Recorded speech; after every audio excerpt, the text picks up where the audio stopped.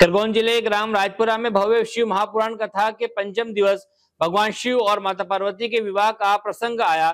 शिव पार्वती बने बालक बालिकाओं के साथ भक्त भक्ति में झूम उठे। ग्राम राजपुरा में सात दिवसीय शिव महापुराण का आयोजन किया जा रहा है। आज पंचम दिवस की कथा में कथा प्रवक्ता संत श्यामदास जी महाराज पारेश्वर धाम आश्रम धामनौत ने भगवान शिव के अनेकों प्रसंगों के माध्यम से शिव भक्ति का महत्व बताया। कथा में शिव पार्वती विवाह के प्रसंग पर भगवान शिव और माता पार्वती की वेशभूषा में सजे बालक बालिकाओं को ढोल डमरू, मजीरों के साथ कथा पंडाल में लाया गया, जहाँ कथा में शनिवार तीन फरवरी को संत श्यामदास जी महाराज पधारे गए। भक्तों को रुद्राक्ष वितरण भी करेंगे। कथा श्रवण करने के लिए आसपास के गाँव से सैकड़ों की संख्या में भक्तगण धर्म लाभ लेने के लिए पहुँच रहे हैं। रविवार को कथा का समापन दिवस है। खरगोन ब्यूरो से पवन कुशवाहा की रिपोर्ट।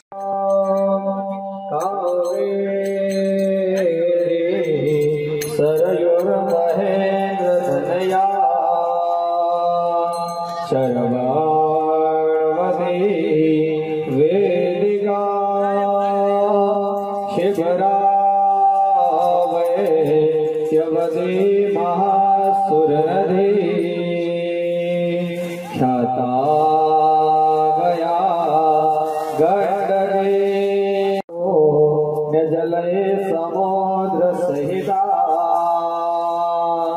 कुर्या सदा मंगला। शुभम भवतु शुभ लग्न शुभ घड़ी शुभ मुहूर्त। सावधान। बराती बराती शंकर भगवान पार्वती जी राजपुरा के सभी भक्तगण पहले पार्वती जी माला पहनाएँगे फिर श्री जरा दो हाथ ऊपर सबके। और जोरदार ताली।